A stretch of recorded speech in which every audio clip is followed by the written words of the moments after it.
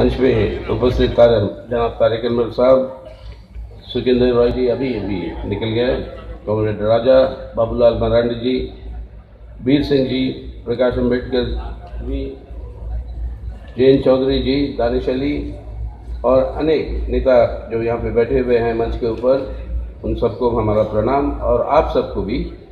क्योंकि तीन महीने पहले शरद जी और हम यही सोच रहे थे कि किस तरीके से कुछ बात को आगे बढ़ाए। हमने उनसे आग्रह किया कि आप नेतृत्व लीजिए और आपके आधार पर एक ऐसी सम्मेलन बुलाइए जहाँ पर सब राजनीतिक पार्टियाँ इकट्ठा होंगी। और ये बात तीन महीने से चल रही है। तो इसके साथ कोई जुड़ाव नहीं है जो आजकल में कुछ आ, कुछ बदलाव जो आई है उसके उसके साथ आज जो कन्वेंशन जो हो रहा है। और उस समय जब तय हुआ था कि सत्रह तारीख को होगी तो शरद जी हमसे कह रहे थे कि अपने कॉमरेडों को भी कह दो कुछ लोग आने के लिए। लोगों की ज़रूरत होगी कन्वेंशन में।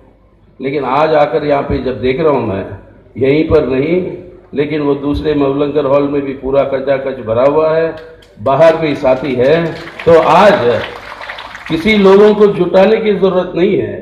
जो भारतवासी है, जो देशभक्त है, वो अपने आप आज निकल कर आ रहा है सड़कों पे, वो नारा जब मेरे बचपन से हम सुनते आए हिंदू, मुस्लिम, सिख, ईसाई, भारत के चार सिपाही।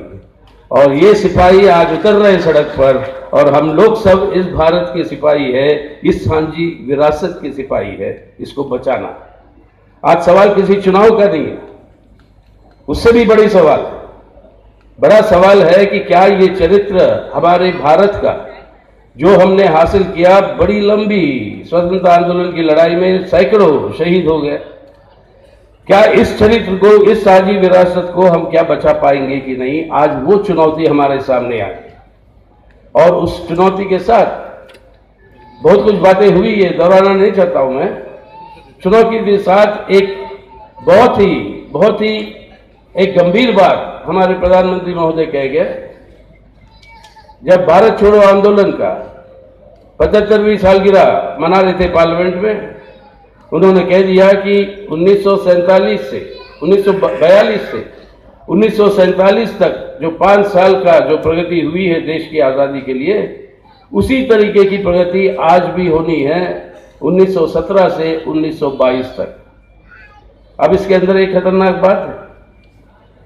1942 से 1947 तक आज़ादी तो ज़रूर हासिल की हमने, लेकिन देश का